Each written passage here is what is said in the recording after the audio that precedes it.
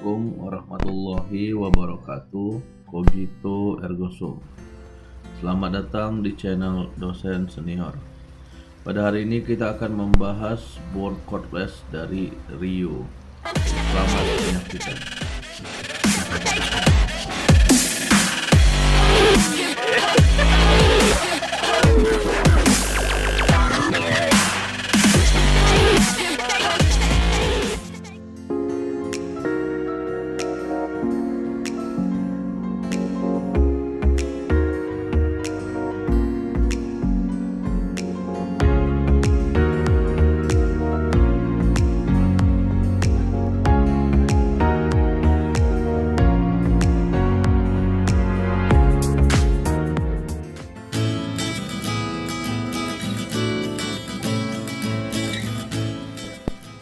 kita akan unboxing ya paket ini.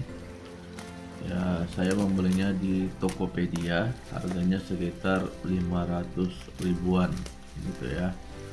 Oke. Bor ini eh, apa ya cukup ergonomis ya cukup ergonomis.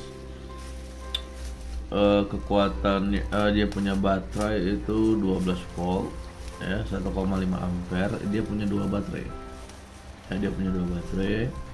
Kemudian dia putarannya sekitar 1300 rpm jika tanpa beban mata bor besi sampai 10 mm dan mata bor kayu sampai 21 mm Oke. tapi dia tidak bisa untuk eh, apa ya mengebor beton ya karena dia tidak ada impact drill. Oke kita akan coba buka ya paketnya ya baterainya juga lithium ion. Oke. Ya. Sekarang kita buka paketnya. Apa isinya? Kopernya oke ya cantik ya. Oke. Ya. Kita dapat ada sebuah t-shirt ya. Bacaannya sumo ya ini kayaknya t-shirt untuk bekerja gitu ya kartu garansi ya. Dan ada carbon brush juga ya. Oke jadi tidak perlu beli carbon brush lagi.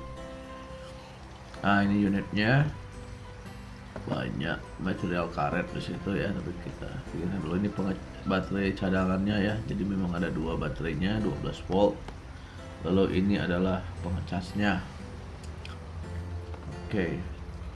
Kita juga dapat mata bor ya sama mata obeng ya, kita dapat mata bor sama mata obeng. Tiga buah mata obeng tiga buah mata bor shock ya kita dapat itu ya. Oke. Cukup sih itu aja kita dapat ya. Oke sekarang kita akan coba uh, melihat uh, apa aja sih di dalam bor ini ya. Baik yang pertama adalah baterai ya. Jadi kalau bukanya itu harus ditekan bagian atasnya lalu lepas oke. Kalau masukinnya sih oke kalau dilepas tidak ada daya ya berarti kan. Oke. Masukin.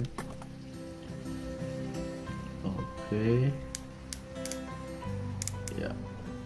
Di situ ada kekuatan newton meternya ya bisa diatur ya. Sampai 25an gitu ya. Kemudian ini ada percepatannya. Cuma ada dua percepatan percepatan pertama sama kedua kemudian di bawah board tetap ada lampu ya. Oke iya. Oke okay, bagus ya. Oke pegangannya juga karet. Enak ya enak. Jadi tetap tasnya bor-bor yang sudah mulai bagus ya kualitasnya. Ya oke okay. Dan Newton meter ini bisa kita atur ketika mengebor bagian-bagian yang keras. Baik, itu bisa kita atur. Oke, bahkan kita bisa atur ke dalam hanya untuk melakukan skrup. Seperti itu. Ya, itu ada reverse-nya ya. Jadi untuk membuka dan menutup ya. Oke, ya banyak sih material karet di sini. Oke, itu ada indikator baterai dan uh, lubang untuk melakukan pengecasan. Oke, ya itu lampunya ya ada di bawah tapi ketika bornya kita lepas ya dia langsung mati begitu ya. Oke ini penampakannya. Ya penampakan bornya. Cukup enak ya. Dan bagus. Oke bisa kita lihat di situ Rio cordless 12 volt gitu ya. Putarannya sampai 1300 rpm Oke ada seri di atas ini ya. Ada Rio yang satu lagi yang konsepnya adalah impact drill ya. Harganya sekitar 800 ribuan begitu. Jadi kalau teman-teman mau butuh impact drill ya belinya yang 800 ribuan. Oke sekarang kita akan coba tes ya percepatannya. Kita bisa atur ya. Oke. Cara memasang mata bornya cukup mudah ya. Karena konsepnya dia sudah tidak perlu lagi pakai kunci bor gitu ya. Jadi cukup berpegang saja ya lalu kita putar reverse-nya. Oke. Dia akan kunci sendiri begitu ya. Oke. Ya. ya harus agak ditahan-tahan dulu ya supaya rata iya oke okay. sudah ya sekarang kita akan coba mengebor ke kayu keras ini. Begitu ya. Nggak bisa. Ya ternyata cukup mudah ya cukup mudah cukup mudah. Mudah sekali pun begitu ya. Oke. Ya setelah kita naikkan ke percepatan kedua. Oke, dia lebih mudah. Tapi kita butuh sedikit penekanan ya. Oke, tetapi uh, ketika kita mau melakukan pengeboran ke kayu-kayu yang betul-betul sembarang dan sangat keras, ya, ini tidak mampu. Jadi bahkan kadang-kadang stuck ya. Ya, bahkan pernah matanya tertinggal itu di kayu keras tersebut.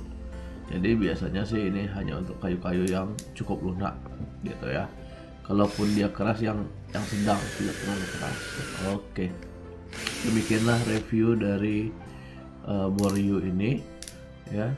Jangan lupa klik like share and subscribe channel ini.